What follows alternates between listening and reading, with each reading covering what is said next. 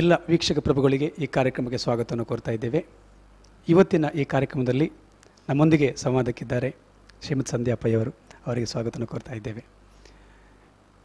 ಸ್ತ್ರೀಪರ ಕಾಳಜಿ ಉಳ್ಳವರು, ತರಂಗಕ್ಕೆ ಭಾಳ ಮುಖ್ಯವಾಗಿ ಒಂದು ಹೊಸ ಆಯಾಮವನ್ನು, ಒಂದು ಹೊಸ ಭಾಷ್ಯವನ್ನು ಬರೆದವರು ಅವರಂಟು ಇವತ್ತು ನಮ್ಮ ಅನುಭವನ ಹಂಚಿಕೊಳ್ಳಕ್ಕಿದ್ದಾರೆ ಮೇಡಮ್ ಮೊದಲ ಪ್ರಶ್ನೆ ಅಂತ ಹೇಳಿದರೆ, ನೆನಪುಗಳು ಯಾವತ್ತೂ ಮರೆಯಲಾಗುವುದಿಲ್ಲ, ಅದು ಸದಾ ಇರ್ತದೆ. ಒಂದು ಪ್ರತಿಷ್ಠಿತ ಕುಟುಂಬದ ಸೊಸೆಯಾಗಿ ಬಂದಾಗ ನಿಮಗೆ ಆರಂಭದ ಅನುಭವಗಳು ಹೇಗಿತ್ತು? ವೀಕ್ಷಕರಿಗೆಲ್ಲ ನಮಸ್ಕಾರ. ಸೊಸೆಯಾಗಿ ಬಂದಾಗ ಏನು ವಿಶೇಷ ಇಲ್ಲ ಅಂತ ಕಾಣ್ತದೆ. ಎಲ್ಲ ಸೊಸೆಯಂದರೆ ಹಾಗೆ ನಮ್ಮದು ಕೂಡ. ಆವಾಗ ಮನೆಯಲ್ಲಿ ಹಿರಿಯರೆಲ್ಲರೂ ಕೂಡ ಇದ್ದರು ಒಂಥರ ತುಂಬ ಕೂಡು ಕುಟುಂಬವಾಗಿತ್ತು. ಅದರಲ್ಲಿ ಎಲ್ಲರ ಜೊತೆ ಬೆರೆತು ಒಂದಾಗಿ ಬಾಳುವುದೇ ಒಂದು ಸಂತೋಷದ ಹಾಗೂ ಒಂದು ವಿಶಿಷ್ಟ ಅನುಭವ ಆಗಿತ್ತು. ಕೂಡು ಕುಟುಂಬದಿಂದ ಬಂದವರಿಗೆ ಕೂಡು ಕುಟುಂಬದಲ್ಲಿ ಹೊಂದಿಕೊಂಡು ಹೋಗಲಿಕ್ಕೆ ಏನೂ ತೊಂದರೆ ಆಗೋದಿಲ್ಲ. ಹಾಗಾಗಿ ವಿಶೇಷ ಅನುಭವಗಳು ಅಂತ ಏನಿಲ್ಲ. ಆದರೆ ಒಂದು ಬಹಳ ಮಧುರವಾದ ಅನುಭವ, ಮಧುರವಾದ ಒಂದು ನೆನಪು ಇಷ್ಟೇ ಈಗ ಮಣಿಪಾಲ ಸಮೋಕ್ಷದ ಒಂದು ಅದ್ಭುತವಾದ ಸಾಧನೆ ಮಾಡಿದಂಥ ಕ್ಷೇತ್ರ ಅದು. ಬೇರೆ ಬೇರೆ ಕ್ಷೇತ್ರಗಳಿವೆ. ಆದರೆ ನೀವು ಈಗ ಆಯ್ಕೆ ಮಾಡ್ಕೊಂಡು ಭಾಳ ಪತ್ರಿಕೋದ್ಯಮವನ್ನು ಭಾಳ ಆಯ್ಕೆ ಮಾಡ್ಕೊಂಡ ಕ್ಷೇತ್ರ ಆಯ್ಕೆ ಮಾಡ್ಕೊಂಡಿದ್ದೀರಿ. ಇದ್ರ ಕಾರಣ ಏನು? ಭಾಳ ಒತ್ತಾಸಿತ್ತು ಅದರ ತುಂಬ ಆಸಕ್ತಿ ಇತ್ತು ನಿಮಗೆ. ನಿಜವಾಗ್ಲೂ ಹೇಳಬೇಕು ಅಂತ ಹೇಳಿದರೆ, ಇದು ನಾನು ಆಯ್ಕೆ ಮಾಡಿಕೊಂಡದ್ದಲ್ಲ, ಇದು ತಾನಾಗಿ ನನ್ನತ್ತ ಬಂದದ್ದು. ನಾವೆಲ್ಲ ಬೆಳೀತಾ ಇದ್ದ ಕಾಲದಲ್ಲಿ ಹುಡುಗಿಯರಿಗೆ ಒಂದು ಒಂದು ಜಾಬ್ ಆಗಲಿ, ಒಂದು ಆ ಥರದನ್ನು ಮಾಡೋದು ಹೆಚ್ಚಾಗಿ ನಮ್ಗೆ ಯಾರೂ ಎನ್ಕರೇಜ್ ಮಾಡ್ತಾ ಇರಲಿಲ್ಲ. ಯಾಕೆಂತ ಹೇಳಿದರೆ, ಹೆಣ್ಣಿನ ಸ್ಥಾನ ಮನೆಯಲ್ಲಿ ಅಂತ ಅಂತ ಹೇಳೋ ಒಂದು ಮನೋಭಾವ ಇತ್ತು. ಆವಾಗ ಓದಬೇಕು, ಏನಾದರೂ ಸಾಧಿಸಬೇಕು ಅಂತ ಹೇಳುವ ಆಸೆ ಇದ್ದರೂ ಕೂಡ ಕಡೆಗೆ ಸುಟ್ಟುಗ ಹಿಡಿಯೋದೊಂದೇನು ತಪ್ಪುವುದಿಲ್ಲ ಹಾಗಾಗಿ ಅಡುಗೆ ಮನೆಗೆ ಬಂದು ನಾಲ್ಕು ಕೆಲಸ ಕಲ್ತ್ಕೋ, ಅಡುಗೆ ಕಲ್ತ್ಕೋ, ಯಾಕೆಂದರೆ ನಾಳೆ ಗಂಡನ ಮನೇಲಿ ನಮ್ಮ ಕೆಟ್ಟ ಹೆಸರು ಬರುತ್ತೆ ಅಂತ ಹೇಳಿ ಹಿರಿಯರು ಇದ್ದರು ಅಂಥ ಒಂದು ಸನ್ನಿವೇಶದಲ್ಲಿ ಕೆಲಸ ಮಾಡೋದು ಹೊರಗೆ ಹೋಗಿ ಅನ್ನೋದು ಕನಸಿನ ಮಾತಾಗಿತ್ತು ಇದು ನನ್ನದು ಅಂತಲ್ಲ, ನನ್ನ ಜನ್ರೇಷನ್ನಿನ ಬಹಳಷ್ಟು ಜನರಿಗೆ, ಹೆಣ್ಣು ಮಕ್ಕಳಿಗೆ ಇದೇ ಅನುಭವ. ಸೊ ಹಾಗೆ ಮದುವೆ ಆದ ಆಗಿ, ಎರಡು ಮಕ್ಕಳಾಗಿ ಇಪ್ಪತ್ತೈದು ವರ್ಷಗಳಷ್ಟು ಕಾಲ ಒಂದು ಸಂತೃಪ್ತ ಗೃಹಿಣಿಯಾಗಿದ್ದೆ. ಯಾವುದೇ ಥರದ ಆ್ಯಂಬಿಷನ್ಸ್ ಅದೇನೂ ಇರಲಿಲ್ಲ. ಆದರೆ ಒಂದು ಘಟ್ಟ ಬಂತು. ಇಲ್ಲಿ ಆಫೀಸ್ನಲ್ಲಿ ನನ್ನ ಅಗತ್ಯ ಇತ್ತು. ಆವಾಗ ನನ್ನ ಮಗ ಹೇಳಿದ, ನೀನು ಸುಮ್ಮನೆ ಮನೇಲಿ ಕೂತ್ಕೊಂಡು ಟೈಮ್ ವೇಸ್ಟ್ ಮಾಡ್ತಾ ಇದೀಯಾ ಆಫೀಸಿಗೆ ಬಂದರೆ ಏನಾರು ಮಾಡ್ಬೋದು, ಬಾ ಅಂತ ಹೇಳಿ ಒತ್ತಾಯದಿಂದ ಒಲ್ಲದೇ ಇದ್ದರೂ ಕೂಡ ದಿನ ಎಳ್ಕೊಂಡು ಅನ್ನೋ ಹಾಗೆ ಕರ್ಕೊಂಡು ಬಂದು ಕೂರಿಸ್ದ. ಆಮೇಲೆ ಹೇಳ್ದ, ಏನಾದರೂ ಸುಮ್ಮನೆ ಕೂತ್ಕೊ ನೀನು, ಏನು ಮಾಡೋದು ಬೇಡ ಅಂತ ಹೇಳಿ. ಕ್ರಮೇಣ ತರಂಗದ ಸ್ಟಾಫ್ ಆಗಲಿ, ತರಂಗದ, ತರಂಗ ಬಳಗ ಆಗಲಿ ಬಂದು ಮಾತಾಡೋದು, ಆಮೇಲೆ ಮೊದಲು ಮೊದಲು ಅವರಿಗೂ ಒಂಥರ ಹೆಸಿಟೇಷನ್ ಇತ್ತು. ಯಾಕೆಂದರೆ ನನ್ನ ಮ್ಯಾನೇಜ್ಮೆಂಟ್ ಸೈಡಿಂದ ಬಂದಿದ್ದೆ.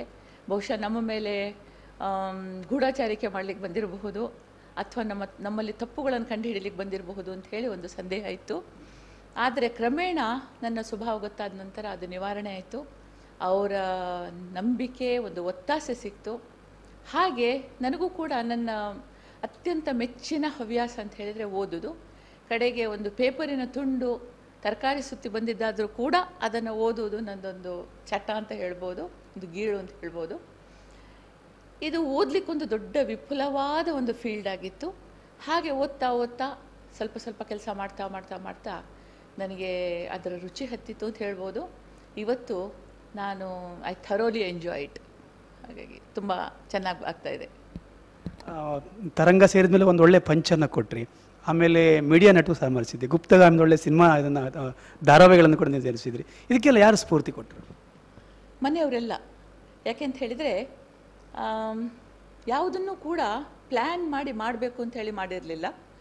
ಅದು ತನ್ನಿಂದ ತಾನೇ ಒಂದೇ ಅಪ್ಪಪ್ಪಿ ಅಂತ ಹೇಳ್ತೇವಲ್ಲ ನಮ್ಮ ಕನ್ನಡದಲ್ಲಿ. ಹಾಗೆ ಹಾಗೆ ಒಂದು ಏನೇನೋ ನಡೀತು. ಪಂಚು ಅಂತ ಹೇಳೋದು ಕೂಡ ಒಂದು ಸರಿಯಲ್ಲ ಅನಿಸುತ್ತೆ. ಯಾಕೆ ಅಂತ ಹೇಳಿದರೆ, ಈ ಹಿಂದಿನ ಕೆಲವು ಪತ್ರಿಕೆಗಳನ್ನು ಅಥವಾ ಮಾಸಪತ್ರಿಕೆಗಳನ್ನು ನೋಡುವಾಗ ನನಗನ್ನಿಸ್ತಾ ಇತ್ತು, ಏನಾದರೂ ಹೊಸ್ತು ಕೊಟ್ಟರೆ ಓದುಗ ಖಂಡಿತಕ್ಕೂ ಸ್ವೀಕರಿಸ್ತಾನೆ. ಹಾಗೆ ದೃಶ್ಯ ಮಾಧ್ಯಮದಲ್ಲೂ ಕೂಡ ಹಾಗೆ. ಏನಾದರೂ ಒಂದು ಬದಲಾವಣೆ ಬೇಕು, ಹಾಗಾಗಿ ಏನಾದರೂ ಹೊಸ್ತು ಕೊಡಬೇಕು ಅಂಥೇಳಿ ಯಾವಾಗಲೂ ನಾನು ಏನನ್ನು ಯೋಚಿಸುವಾಗಲೂ ಕೂಡ ನಾನು ಓದುಗಳಾಗಿ ಯೋಚಿಸ್ತೇನೆ ಹೊರತು ನಾನು ಬರಹಗಾಳಲಾಗಿ ಅಥವಾ ಒಬ್ಬ ಮ್ಯಾನೇಜ್ಮೆಂಟ್ ಸೈಡಿಂದ ನಾನು ಯೋಚಿಸಲಿಲ್ಲ. ಓದುಗಳಾಗಿ ನನಗೆ ಏನು ಬೇಕು ಅನ್ನಿಸ್ತದೆ? ಹಳೆಯ ಚರ್ವಿತ ಚರ್ವಣವನ್ನು ಬಿಟ್ಟು ಸ್ವಲ್ಪ ಹೊಸದಾಗಿ ಏನಾದರೂ ಮಾಡಬಹುದಾ ಅನ್ನುವ ದೃಷ್ಟಿಕೋನದಲ್ಲಿ ನೋಡಿದೆ. ಅದು ಜನ ಮೆಚ್ಚಿದ್ರು, ಓದುಗರು ಮುಚ್ಚಿದ್ರು ಮೆಚ್ಚಿದ್ರು, ಅದು ಹಾಗೆ ಮುಂದುವರಿತು. ಇನ್ನು ಈ ಸೀರಿಯಲ್ಗಳಲ್ಲೂ ಕೂಡ ಹಾಗೆ. ಮಾಡಬೇಕು ಅಂತ ಹೇಳಿ ಮಾಡಿದ್ದಲ್ಲ. ಒಂದು ದಿನ ಒಂದು ಚಾನೆಲ್ನವ್ರು ಬಂದು ಹೇಳಿದರು, ನಿಮ್ಮ ತುಷಾರದಲ್ಲಿ ತರಂಗದಲ್ಲಿ ಇಷ್ಟು ಒಳ್ಳೊಳ್ಳೆ ಕಥೆಗಳನ್ನು ನೀವು ಪ್ರಕಟಿಸ್ತೀರಿ. ಅದೇ ಕಥೆಗಳನ್ನು ನೀವು ಸೀರಿಯಲೈಸ್ ಮಾಡಬಾರ್ದು ಯಾಕೆ ಅಂತ ಹೇಳಿ. ಎಲ್ಲರಿಗೂ ಕೂಡ ಒಂದು ಖುಷಿ ಅನ್ನಿಸ್ತು, ಮಾಡೋಣ ಅಂತ ಅನ್ನಿಸ್ತು. ಶುರು ಮಾಡಿದರು. ಗುಪ್ತಗಾಮಿನಿ ನಿಜಕ್ಕೂ ಶುರುವಾಗುವಾಗ ಒಂದು ವಿನೂತನ ರೀತಿಯ ಕಥಾ ಹಂದರವನ್ನು ಅಂದರೆ ಒಬ್ಬ ಅವಿವಾಹಿತ ತಾಯಿಯ ಜೀವನ. ಅವಳನ್ನು ಪ್ರ, ಜಗತ್ತು ಅಥವಾ ಸಮಾಜ ಹೇಗೆ ಸ್ವೀಕರಿಸ್ತು, ಅದರಲ್ಲೂ ಅವಳ ಮಗುವಿನ ತಂದೆ ಅವಳದೇ ಅಕ್ಕನ ಗಂಡ ಅಂತ ಗೊತ್ತಾದಾಗ ಅಷ್ಟು ದಿನ ಮಧುರವಾಗಿದ್ದ ಬಾಂಧವ್ಯಗಳು ಹೇಗೆ ತಿರುವು ಪಡೆದುಕೊಳ್ತವೆ ಅನ್ನೋದನ್ನು ಆಧರಿಸಿ ಇದೊಂದು ಭಾಗಶಃ ಸತ್ಯಕತೆ. ಅದನ್ನು ಆಧರಿಸಿ ನಾವು ಮಾಡಿದ್ವಿ. ಬಹಳ ದೊಡ್ಡ ಯಶಸ್ಸನ್ನು ಕಂಡಿತು. ಇನ್ನೂ ಕೂಡ ಒಂದು ಸಾವಿರದ ತೊಂಬತ್ತರ ಮೇಲೆ ಹೋಯಿತು. ಇನ್ನೂ ಕೂಡ ಅದನ್ನು ನಿಲ್ಲಿಸ್ಲಿಕ್ಕೆ ಜನ ಬಿಡ್ತಾ ಇಲ್ಲ. ಯಾಕೆ ಅಂತ ಹೇಳಿದರೆ ನಮ್ಮ ಟಿ ಆರ್ ಪಿಸ್ ಅಷ್ಟು ಹೈ ಆಗಿದೆ. ಅಷ್ಟು ಜಾಸ್ತಿ ಆಗಿರೋದ್ರಿಂದ ಇನ್ನೂ ಕೂಡ ಅದು ನಡೀತಾ ಇದೆ. ಆದರೆ ಯಾವುದೇ ಒಂದು ಸೀರಿಯಲ್ಲು ಅದರ ಹಂದರವನ್ನು ಬಿಟ್ಟು ಕಥೆಯ ಹಂದರವನ್ನು ಬಿಟ್ಟು ಹೊರ ಹೋದಾಗ ಅದರಲ್ಲಿ ಜಾಳು ಬರ್ ಜಾಳುತನ ಬರ್ತದೆ. ಇದನ್ನು ಟಿ ಆರ್ ಪಿಸ್ ಹೆಚ್ಚಿರೋ ಒಂದು ವಿಷ ಬರ್ತಲ್ಲ. ಟಿ ಆರ್ ಪಿಸ್ ಹೆಚ್ಚಿರೋದ್ರಿಂದ ಚಾನಲ್ ಬಂದ್ ಮಾಡ್ಲಿಕ್ಕೆ ಬಿಡ್ತಾ ಇಲ್ಲ. ಹಾಗಾಗಿ ಇದು ಎರಡು ಮೂರು ಕಥೆಗಳನ್ನು ಹೊಂದಿಸ್ಕೊಂಡು ಒಂದು ಕಥೆಯಾಗಿ ಮೆಗಾ ಧಾರಾವಾಹಿಯಾಗಿ ಮುಂದುವರ್ತಾ ಇದೆ ಅಷ್ಟೇ. ಸಿನಿಮಾ ಏನಾದರೂ ಮಾಡೋ ಯೋಚನೆ ಕಲಾತ್ಮಕ ಸಿನಿಮಾ ಮಾಡೋ ಯೋಚನೆ ಏನಾದರೂ ಸದ್ಯಕ್ಕಿಲ್ಲ. ಯಾಕೆ ಅಂತ ಹೇಳಿದರೆ ಇವತ್ತಿನ ಟ್ರೆಂಡ್ ನೋಡ್ತಾ ಇದ್ದರೆ ಪ್ರೀತಿ, ಪ್ರೇಮ, ವಿರಹ ಇದನ್ನು ಬಿಟ್ಟರೆ ಬೇರೆ ರೀತಿಯ ಸಿನಿಮಾಗಳನ್ನು, ಕಥೆಗಳನ್ನು ಜನ ಮೆಚ್ಚುವುದು ಕಾಣ್ತಾ ಇಲ್ಲ. ಹಾಗಾಗಿ ಆ ಥರದ ಕಥೆಗಳನ್ನು ಹಿಡ್ಕೊಂಡು ಸಿನಿಮಾ ಮಾಡೋದ್ರಲ್ಲಿ ಏನೂ ಅಭಿರುಚಿ ಇಲ್ಲ. ಹಾಗಾಗಿ ಸದ್ಯಕ್ಕಂತೂ ಆಲೋಚನೆ ಇಲ್ಲ. ನಿಮ್ಮ ಸಂಪಾದಕರು ಭಾಳ ಮುಖ್ಯವಾಗಿ ಡಿ ವಿ ಜಿಯವರ ಪ್ರಭಾವ ಬಹಳ. ಆ, ಬ- ಬಹಳ ಕಾಣ್ತಾ ಇದೆ. ಯಾವ ಉದ್ದೇಶದಿಂದ ಮತ್ತು ಯಾವ ನಿಮ್ಮ ಅರು ಮೇಲೆ ತುಂಬ ಪ್ರಭಾವ ಬೀರಿದ್ದಾರೆ ಪ್ರಭಾವ ಅಂತಲ್ಲ ಡಿ ವಿ ಜಿಯವರು ಅಂಥ ಅನೇಕ ಬರಹಗಾರರು ಬಾಲ್ಯದಿಂದ ನನ್ನ ಮೇಲೆ ಗಾಢ ಪ್ರಭಾವವನ್ನು ಬೀರಿದಂತೂ ಸತ್ಯ. ಆದರೆ ಇವತ್ತೇನಾಗಿದೆ ಅಂತ ಹೇಳಿದರೆ ಯಾವುದೇ ಅವರ ಒಂದು ಲೇಖನ ಅಥವಾ ಬರಹ ಅಥವಾ ಕತೆ ಅದು ಎಷ್ಟು ಸರಳವಾಗಿರ್ತದೋ ಅಷ್ಟು ಜನರನ್ನು ಮುಟ್ತದೆ. ಡಿ ವಿ ಜಿಯವರ ಕಗ್ಗಗಳಲ್ಲಿ ಏನಾಗಿದೆ ಅಂತ ಹೇಳಿದರೆ, ಅದು ಈ ಉಪನಿಷತ್ತುಗಳು ಅಥವಾ ಭಗವದ್ಗೀತೆ ಅಂಥ ಮಹಾನ್ ಗ್ರಂಥಗಳು ಸಂಸ್ಕೃತದಲ್ಲಿ ಏನು ಹೇಳಿದ್ವೋ, ಅದನ್ನೇ ಸರಳವಾಗಿ ಕನ್ನಡದಲ್ಲಿ ಡಿ ವಿ ಜಿ ಅವರು ಹೇಳಿದ್ದಾರೆ. ಸ್ವಲ್ಪ ಮನಸ್ಸಿಟ್ಟು ಅದನ್ನು ಓದಿದರೆ ಎಂಥ ಸಾಮಾನ್ಯ ಕಲ್, ಕನ್ನಡ ಬಲ್ಲವನಿಗಾದರೂ ಕೂಡ ಇದು ಅರ್ಥ ಆಗುವ ಹಾಗೆ ಬರೆದಿದ್ದಾರೆ ಹಾಗಾಗಿ ಸಂಸ್ಕೃತದ ಕ್ಲಿಷ್ಟ ಶಬ್ದಗಳನ್ನು, ಸಂಸ್ಕೃತ ಕ್ಲಿಷ್ಟ ಅಲ್ಲ ಸಂಸ್ಕೃತದಷ್ಟು ಸರಳ ಭಾಷೆ ಬೇರಿಲ್ಲ, ಆದರೆ ನಾವು ಅದನ್ನು ಮನಸ್ಸಿಟ್ಟು ಓದುವುದನ್ನು ಮರ್ತಿದ್ದೇವೆ. ಹಾಗಾಗಿ ಸಂಸ್ಕೃತ ಕ್ಲಿಷ್ಟ ಅಂತ ತಿಳ್ಕೊಳ್ಳೋರಿಗೆ ತಿಳ್ಕೊಳ್ಳೋರಿಗೆ ಸಂಸ್ಕೃತದ ವಾಕ್ಯಗಳನ್ನು ಕೊಟ್ಟು ಅದನ್ನು ಕನ್ನಡದಲ್ಲಿ ಅರ್ಥ ಬರೆದು ಅದನ್ನು ಇನ್ನೂ ಗೋಜಲು ಮಾಡೋದಕ್ಕಿಂತ ಡಿ ವಿ ಜಿಯವರು ಹೇಳಿರುವ ಅದೇ ಅರ್ಥದ ಕಗ್ಗಗಳನ್ನು ಬರೆಯೋದು, ಬರೆಯೋದ್ರಿಂದ ಜನತೆಗೆ ತುಂಬ ಅದರಿಂದ ಲಾಭ ಆಗುತ್ತೆ. ಅವರು ಅದನ್ನು ಹೆಚ್ಚು ಮೆಚ್ಚುತ್ತಾರೆ ಅಂತ ಹೇಳಿ ನಾನು ಕಗ್ಗಗಳನ್ನು ತುಂಬ ಬಳಸ್ಕೊಳ್ತೇನೆ. ಹಾಗೆ ಸರ್ವಜ್ಞ ವಚನಗಳು ಅಥವಾ ಶಿವಶರಣರ ವಚನಗಳು ಇದನ್ನು ಕೂಡ ನಾನು ಬಳಸ್ಕೊಳ್ತಾ ಇದ್ದೇನೆ. ನಿಮ್ಮ ಲೇಖನಗಳ ಮತ್ತೊಂದು ಭಾಳ ನೀವು ಅದು ಆಧುನಿಕತೆ ಮತ್ತು ಅಥವಾ ಪರಂಪರೆಯ ಬಗ್ಗೆ ತುಂಬ ಹೆಚ್ಚು ಹೇಳ್ತೀವಿ ಪರಂಪರೆನ ಕಾಪಾಡಬೇಕಂತೇಳಿ. ಈಗ ಆಧುನಿಕತೆ ಮತ್ತು ಈ ಪರಂಪರೆನ ಹೇಗೆ ಸಮನ್ವಯಗೊಳಿಸಬೇಕಾಗತ್ತೆ? ಇದಕ್ಕೆ ಸಮನ್ವಯದ ಅಗತ್ಯ ಇಲ್ಲ. ಯಾಕೆ ಅಂತ ಹೇಳಿದರೆ ಪರಂಪರೆ ನಮ್ಮ ಬದುಕಿನ ಬುನಾದಿ ಅಥವಾ ಫೌಂಡೇಶನ್ನು ಆಧುನಿಕತೆ ಅಂತ ಏನು ಹೇಳ್ತೀವೋ ಅದು ಕೂಡ ಈ ಪರಂಪರೆಯ ತಳಹದಿಯ ಮೇಲೇ ಬೆಳೆದು ಬಂದಿರೋದು. ಪರಂಪರೆ ಅಂತ ಹೇಳಿದರೆ ಏನು ಅನ್ನೋದನ್ನು ನಾವು ಮೊದಲು ಒಂದು ಅನಲೈಸ್ ಮಾಡಿ ನೋಡಬೇಕು. ಯಾಕೆ ಅಂತ ಹೇಳಿದರೆ ಪರಂಪರೆ ಅಂತ ಹೇಳಿದರೆ ಟೈಮ್ ಟೆಸ್ಟೆಡ್ ಟ್ರೂತ್ಸ್ ಯಾಕೆಂದರೆ ಬಹಳ ವರ್ಷಗಳಿಂದ, ಸಾವಿರಾರು ವರ್ಷಗಳಿಂದ ಅಂತ ಹೇಳ್ಬೋದು, ನಮ್ಮಲ್ಲಿ ಒಂದು ಬದುಕಿನ ವಿಧಾನ ಬೆಳೆದು ಬಂತು. ಇವತ್ತು ನಾವೇನು ಮಾಡ್ತೇವೆ ಅಂತ ಹೇಳಿದರೆ ಒಂದು ಸಣ್ಣ ವಿಷಯವನ್ನಾದರೂ ಕೂಡ ಒಂದು ಯಂತ್ರವನ್ನು ಉಪಯೋಗಿಸಿ, ಅದರ ಮೂಲಕ ಪರೀಕ್ಷಿಸಿ, ಅದು ಹೌದೋ ಅಲ್ವಾ ಅಂತ ಹೇಳಿ ಒಪ್ಪುತ್ತೇವೆ. ಆದರೆ ಈ ಯಂತ್ರಗಳು ತಪ್ಪಿರ್ಬೋದು, ಯಂತ್ರಗಳನ್ನು ನಡೆಸುವ ಮನುಷ್ಯನು ತಪ್ಪಿರಬಹುದು. ಸೊ ಇದು ಆಧುನಿಕತೆ. ಆದರೆ ಇದರಿಂದ ಲಾಂಗ್ ಟರ್ಮ್ ಇಫೆಕ್ಟ್ಸ್ ಏನಿರುತ್ತೆ ಅಂತ ಅಂತ ಹೇಳಿದರೆ ಕೆಲವು ವರ್ಷಗಳ ಕಳೆದ ನಂತರ ಇದರ ಪರಿಣಾಮ ಏನಾಗ್ಬೋದು? ಅದು ಇವತ್ತು ನಮ್ಮ ಅರಿವಿಗೆ ಬರಲಿಲ್ಲ. ಸಣ್ಣ ಉದಾಹರಣೆ ಹೇಳೋದು ಅಂತ ಹೇಳಿದರೆ ಇವತ್ತು ನಾವು ಬದುಕ್ತಾ ಇರೋದು ಕಬ್ಬಿಣ ಸಿಮೆಂಟಿನಲ್ಲಿ ಕಟ್ಟಿದ ಮನೆಗಳಿಂದ. ಒಂದು ಉದಾಹರಣೆ. ಈಗ ಕಬ್ಬಿಣ ಆಯಸ್ಕಾಂತೀಯ ಶಕ್ತಿಯನ್ನು ಆಯ- ಶಕ್ತಿ ಹತ್ರ ಆಕರ್ಷಿಸಲ್ಪಡುವಂತಹ ಒಂದು ಲೋಹ. ಸಿಮೆಂಟು ಅನೇಕ ನೈಸರ್ಗಿಕ ವಸ್ತುಗಳು ಹಾಗೂ ಕೆಮಿಕಲ್ಸು. ಇದರ ಒಂದು ಮಿಶ್ರಣ. ಇದು ಬಿಸಿಲು, ಮಳೆ, ಗಾಳಿಗಳಿಗೆ ಎಕ್ಸ್ಪೋಸ್ ಆದಾಗ, ಇದರಲ್ಲಿ ಮತ್ತೆ ವಿದ್ಯುತ್ತನ್ನು ನಾವು ಬಳಸಿದಾಗ ಇದರ ಪರಿಣಾಮಗಳೇನಾಗ್ತವೆ? ಇದರ ಬಗ್ಗೆ ಅಧ್ಯಯನ ನಡೆದಿದೆ ಅಂತ ಹೇಳ್ತಾರೆ. ಆದರೆ ಈ ವಸ್ತುಗಳನ್ನು ಉತ್ಪಾದಿಸುವವರ ಲಾಬಿಯಲ್ಲಿ ಎಷ್ಟು ಸತ್ಯ ಹೊರಗೆ ಬರ್ತದೆ ಅಂತ ನಮಗೆ ಗೊತ್ತಿಲ್ಲ. ಆದರೆ ಒಂದು ನಾವು ಕಾಣ್ತಾ ಇರೋ ಸತ್ಯ ಅಂತ ಹೇಳಿದರೆ, ಇವತ್ತು ಹಿಂದಿಗಿಂತ ಹೆಚ್ಚು ಮಟ್ಟದಲ್ಲಿ ಸಣ್ಣ ಪುಟ್ಟ ಮಾತ್ರ ಅಲ್ಲ, ಮಾರಕ ರೋಗಗಳು ಕೂಡ ಜಾಸ್ತಿ ಆಗಿದ್ದಾವೆ ಇದಕ್ಕೆ ಕಾರಣ ಏನು? ಇದು ಆಧುನಿಕತೆ. ಪರಂಪರೆ ಏನು ಅಂತ ಹೇಳಿದರೆ, ಆವಾಗಿನವರು ಮಣ್ಣಿನಿಂದ ಇಟ್ಟಿಗೆಗಳನ್ನು ಮಾಡಿಯೋ ಅಥವಾ ನೈಸರ್ಗಿಕ ಕಲ್ಲುಗಳನ್ನು ತೆಗೆದೋ ಮನೆಗಳನ್ನು ಕಟ್ಟಿದರು. ಕಟ್ಟುವಾಗ ಕೂಡ ಒಂದು ಕ್ರಮ ಇತ್ತು. ಒಂದು ವಾಸ್ತು ಅಂತ ಇತ್ತು. ಇಂಥ ಜಾಗದಲ್ಲಿನ ಕಲ್ಲುಗಳನ್ನೇ ಉಪಯೋಗಿಸಬೇಕು. ಇಂಥ ಜಾಗದಲ್ಲಿ ತೆಗೆದಂಥ ಮಣ್ಣಿನಿಂದ ಮಾಡಿದ ಇಟ್ಟಿಗೆಗಳನ್ನೇ ಉಪಯೋಗಿಸಬೇಕು. ಇಟ್ಟಿಗೆಗಳಿಗೆ ಈ ವಸ್ತುಗಳನ್ನೇ ಹಾಕಬೇಕು ಅನ್ನುವ ಒಂದು ಟೈಮ್ ಟೆಸ್ಟೆಡ್ ಒಂದು ವಿಧಾನ ಇತ್ತು. ಹೊರಗಿನಿಂದ ಕೂಡ ಹಾಗೆ ಯಾವುದೇ ರೀತಿ ಸಿಮೆಂಟಿನ ಸಿಮೆಂಟ್ ಅನ್ನೋ ಮಾತೇ ಗೊತ್ತಿರಲಿಲ್ಲ. ಹಾಗಾಗಿ ಏನು ಮಾಡ್ತಾಯಿದ್ರು ಅಂತ ಹೇಳಿದರೆ ಈ ಸುರ್ಕಿ ಅಂತ ಹೇಳ್ತೇವೆ. ಬೆಲ್ಲ ಮತ್ತು ಆವೆ ಮಣ್ಣು, ಇಂಥ ಕೆಲವು ಸುಣ್ಣ ಇದನ್ನು ಹಾಕಿ ಇದನ್ನು ಅರ್ದು ಅದರಿಂದ ಪ್ಲಾಸ್ಟರ್ ಮಾಡ್ತಾ ಇದ್ರು. ಇವತ್ತು ಪ್ರಪಂಚದ ಹಳೆಯ ಸಂಸ್ಕೃತಿಗಳ ಹತ್ರ ನಾವು ನೋಡಿದರೆ, ಫಾರ್ ಎಕ್ಸಾಂಪಲ್ ಮೆಕ್ಸಿಕೋ ಅಥವಾ ಈಜಿಪ್ಟು ಅಥವಾ ಪೆರು ಚಿಲ್ಲಿಯಲ್ಲಿರುವಂತಹ ಇನ್ಕಾ ಸಿವಿಲೈಸೇಷನ್ಸು. ಇವುಗಳನ್ನೆಲ್ಲ ನೋಡಿದಾಗ ಏನು ಅಂದರೆ ಅಲ್ಲಿ ಕೂಡ ಇದೇ ರೀತಿಯಲ್ಲಿ ಕಟ್ಟಡವನ್ನು ಕಟ್ಟು, ಕಟ್ಟಡಗಳನ್ನು ಕಟ್ಟುವ ಒಂದು ಪರಿಪಾಠ ಇತ್ತು. ಇದಕ್ಕೆ ಅವರು ಅಡೋಬೆ ಕಲ್ಚರ್ ಅಂತ ಹೇಳಿ ಹೇಳ್ತಾರೆ. ಸೊ ಇದಿತ್ತು. ಇದು ಟೈಮ್ ಟೆಸ್ಟೆಡ್ ಆಗಿತ್ತು. ಸಾವಿರಾರು ವರ್ಷಗಳಿಂದ ಉಪಯೋಗಿಸಿದ್ರೂ ಕೂಡ ಅದರಿಂದ ಮನುಷ್ಯರಿಗೆ, ದೇಹಕ್ಕೆ, ಆರೋಗ್ಯಕ್ಕೆ, ಮನಸ್ಸಿಗೆ ಹಾನಿ ಇರಲಿಲ್ಲ. ಆದರೆ ಆಧುನಿಕತೆ ಈಗ ಶುರುವಾಗಿ ಒಂದು ನಲವತ್ತು ವರ್ಷ ಆಗ್ತಿದೆ ಅಷ್ಟೇ. ಇದರ ಪರಿಣಾಮಗಳೇನೂ ಗೊತ್ತಿಲ್ಲ. ಸೊ ಪರಂಪರೆ ಅಂತ ಹೇಳೋದು ಮತ್ತೆ ಅಲ್ಲಿಗೆ ಬರೋಣ. ಇದು ಟೈಮ್ ಟೆಸ್ಟೆಡು ಹಾಗಾಗಿ ಪ್ರತಿ ಒಂದು ಆಚರಣೆ, ಪ್ರತಿ ಒಂದು ರಿಚುವಲು ಇದು ಕೂಡ ಬಹಳ ವರ್ಷಗಳು ನಡೆದು ಅದರಿಂದ ಮನುಷ್ಯನಿಗೆ, ಸಮಾಜಕ್ಕೆ ಲಾಭ ಇದೆ ಅಂತ ಹೇಳಿ ಅವರು ಕಂಡುಕೊಂಡು ಆಮೇಲೆ ಇದನ್ನು ಬರಹಗಳಲ್ಲಿ ಮತ್ತು ಆಚರಣೆಯಲ್ಲಿ ಉಳಿಸಿ ಹೋದರು. ಇದು ಪರಂಪರೆ. ಇನ್ನು ಆಧುನಿಕತೆ ಪರಂಪರೆ ಆಗಬೇಕಾದ್ರೆ ನಾನು ಬಹುಶಃ ನಾನಿರಲಿಕ್ಕಿಲ್ಲ ನಿಮ್ಮ ವಿಷಯ ನಂಗೆ ಗೊತ್ತಿಲ್ಲ. ಆದರೆ ಇದನ್ನು ಇನ್ನು ಮುಂದುವರೆದು ನೋಡಬೇಕು ಎಷ್ಟು ಟೈಮ್ ಟೆಸ್ಟೆಡ್ ಇದು ಅಂತ ಹೇಳಿ. ನೀವು ಸ್ತ್ರೀಪರ ಕಾಳಜಿ ಒಂದು ನಮ್ಮ ಲೇಖನ ಕಂಡ ಗೊತ್ತಾಗುತ್ತೆ. ಸಮಾಜ ಮತ್ತು ಸ್ತ್ರೀಯ ಒಂದು ಬಾಂಧವ್ಯ ಹೇಗಿರಬೇಕಂತ ಬಯಸ್ತೀರಿ? ಸ್ತ್ರೀ ಪರ ಅಂತ ಹೇಳಿ ಅಲ್ಲ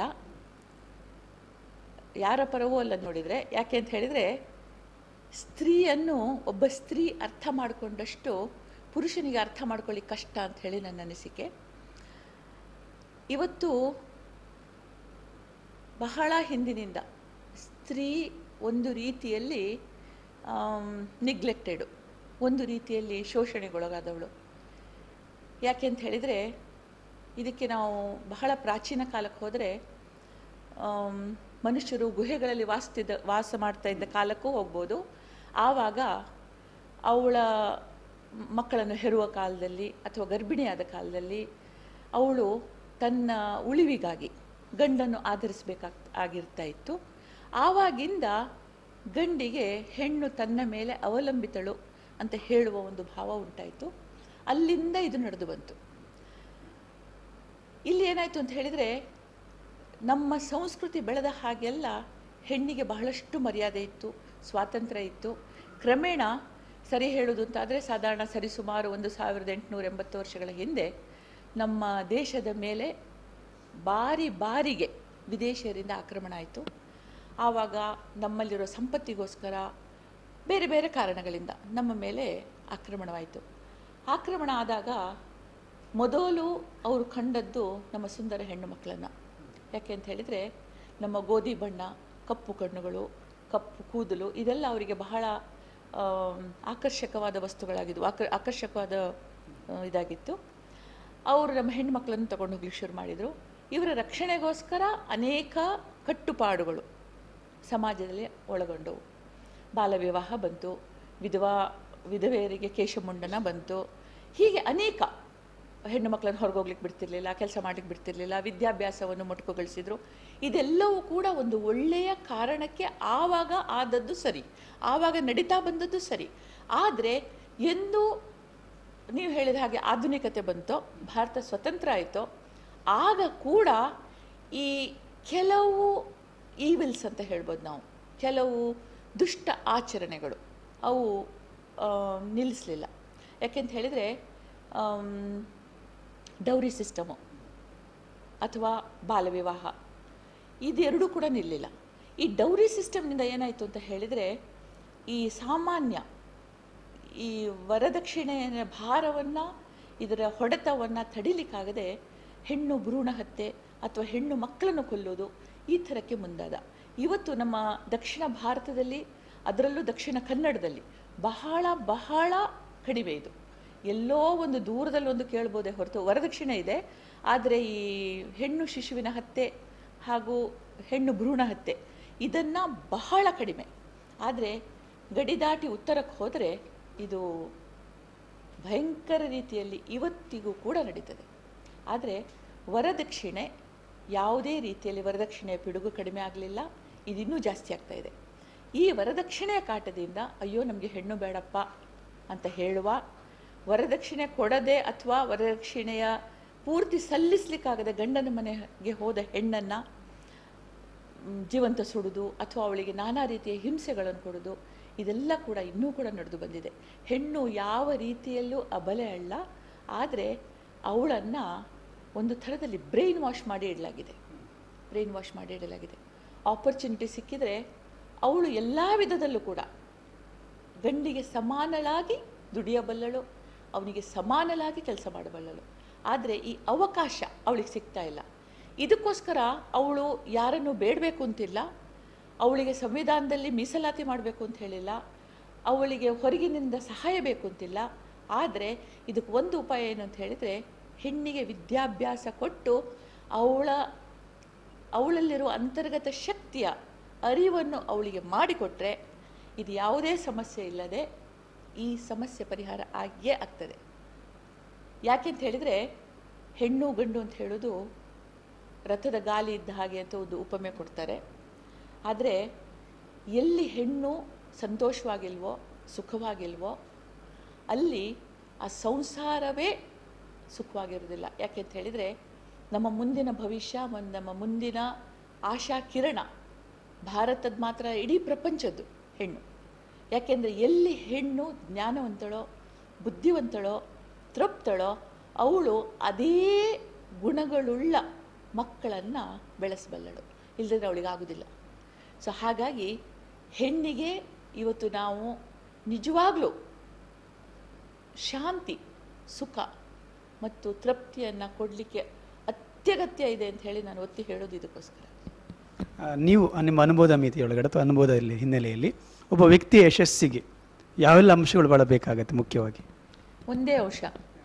ಇಡೀ ದಿನ ಧ್ಯಾನದಲ್ಲಿರಬೇಕು. ಯಾಕೆ ಅಂತ ಹೇಳಿದರೆ ಏನನ್ನು ಮಾಡ್ತೇವೋ ಅದನ್ನು ಸಂಪೂರ್ಣವಾಗಿ ತೊಡಗಿಸಿಕೊಂಡು ಮಾಡಿದರೆ ಇದೇ ಯಶಸ್ಸು.